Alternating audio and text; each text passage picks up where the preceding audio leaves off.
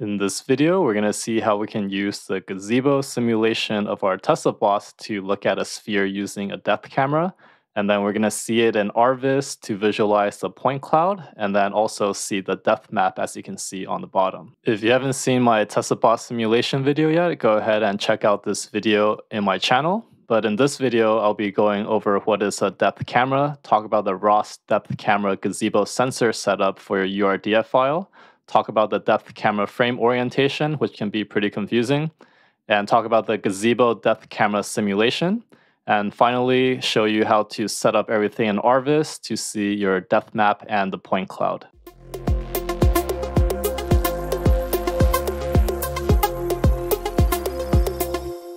So what is a depth camera? A depth camera uses one or two cameras. So here we have a right and left camera. And usually there's something that we call the IR projector. So what this does is it's going to project some IR dots. And sometimes if it just uses one camera, it can be enough to detect the location of those points. And since you have two points of view, you can figure out the disparity between the left and right image. And then from there, you could determine the depth using some similar triangles.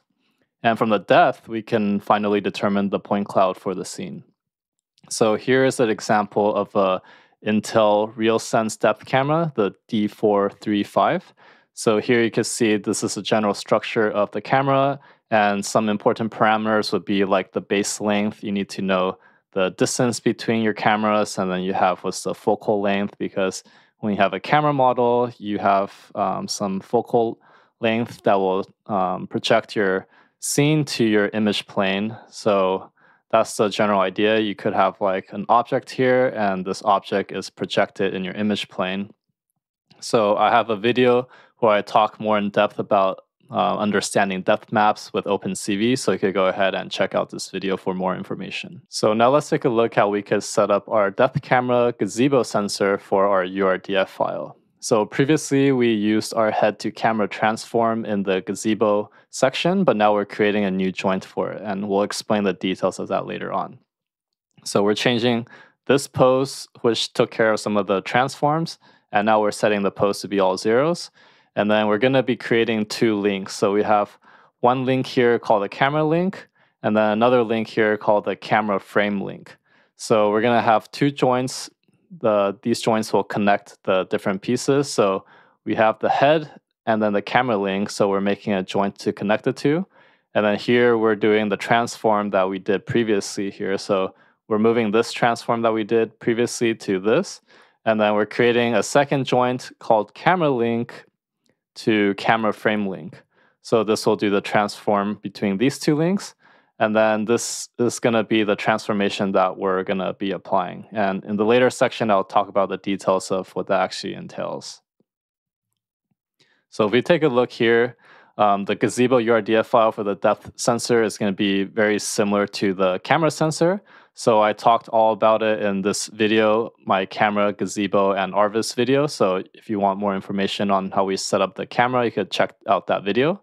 But here you can see this is the part that we need to add inside our gazebo file.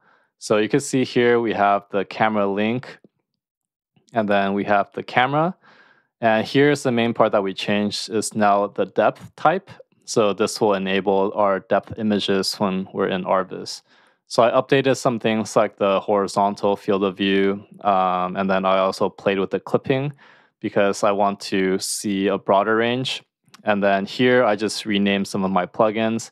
And the key part you need to add here is actually the frame name. So this will associate your um, camera frame to the right link, which will take care of some of the transforms that we did previously. So let's take a look at the camera frame orientation. So below shows the transform between the camera link to the camera frame link. So initially, the camera link has the x-axis pointing in the direction of the camera. So you can see here is the x-axis and it's pointing in the direction of the camera.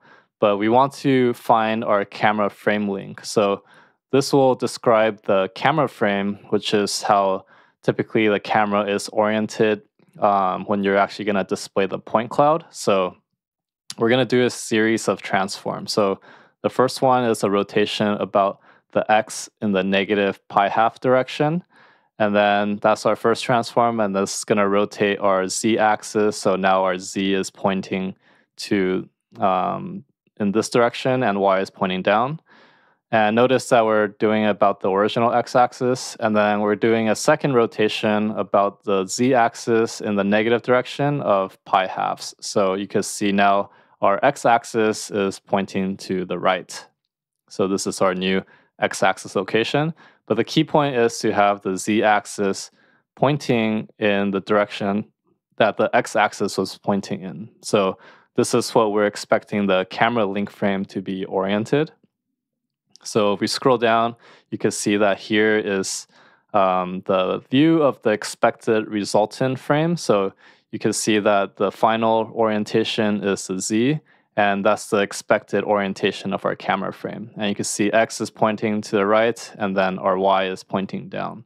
So if we don't do these transforms, our point cloud is going to be all messed up, and it's going to be like upside down, and the sphere will be this way. So if you do all this correctly, then you should see your sphere in the right orientation somewhere on the floor. So now let's take a look at our gazebo simulation. So we're gonna set up our scene so that when we're in RViz, we could actually see something in RViz. So go ahead and go to your workspace, build it, uh, source, and then run the launch file that we talked about in our TeslaBot simulation in our gazebo tutorial video.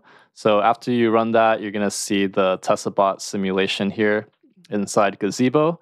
And you could just throw in a sphere like this and that will set up our scene to view everything in RViz when we actually set up everything. Okay, now let's take a look how we can set everything up in RViz to see the depth map and point cloud simulation. So in the terminal, you just want to run your rviz2 command, and then here you can set up everything. So initially there's nothing, and then when you hit add, you're going to see an RViz window pop up. And what you could do is double click this for the point cloud, and the point cloud will show up.